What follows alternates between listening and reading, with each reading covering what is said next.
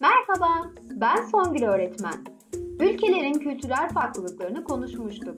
Şimdi ise bu farklılıkların en önemli nedenine bakalım. Bizim ülkemiz yani Türkiye dört mevsiminde yaşandığı bir ülkedir.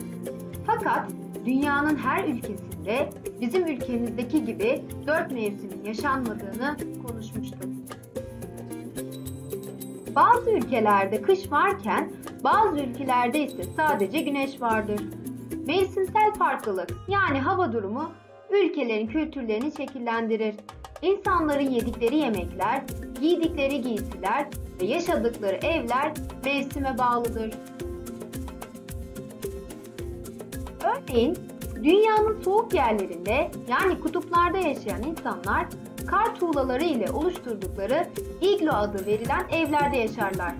Bu evler onları soğuktan korur ve soğuk bölgeler kar ve buz altında olduğundan buradaki insanlar çoğunlukla deniz ürünleri yerler ve kendilerini soğuktan koruması için deriden yapılmış kalın giysiler giyerler.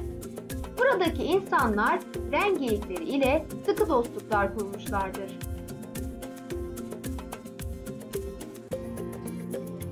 Dünyanın çok sıcak yani çöle yakın yerlerinde yaşayan insanlar çölde sıcaklığa ve kum fırtınalarına karşı dayanıklı olması için çadırlarda yaşarlar. Burada insanlar güneşten korunmak için beyaz renkli giysiler giyerler ve ağız ve burunlarını tozdan korumak için kapatırlar. Çöldeki insanlar da çoğunlukla et yiyerek beslenirler. Burada ise insanlar develerle sıkı dostluk kurmuşlardır.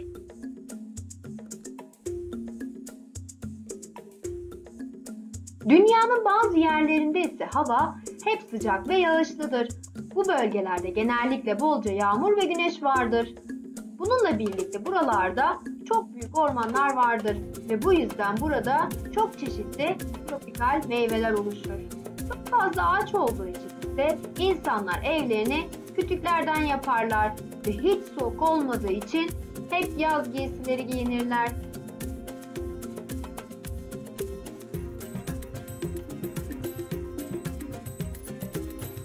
Uzun uzun otların, bambu ağaçların olduğu bölgelerde ise insanlar evlerini bambu ağaçları ve otlardan yaparlar. Buralarda daha çok buğday, arpa, mısır, yulaf gibi tahıllar yetiştiği için çoğunlukla tahılla beslenirler. Burada yaşayan insanlar renkli giysiler giymeyi ve takılar takmayı çok severler. Mevsimsel farklılıkların bizim hayatımızda etkisinin neler olduğunu hiç düşündünüz mü?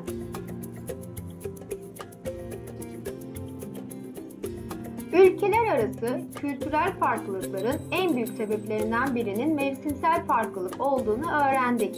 Sizler de her mevsimde farklı giysiler giydiğinizde ve farklı meyveler yediğinizde hava durumunun yaşamımıza etkisini fark edebilirsiniz. Bugünlük bu kadar. Hoşçakalın.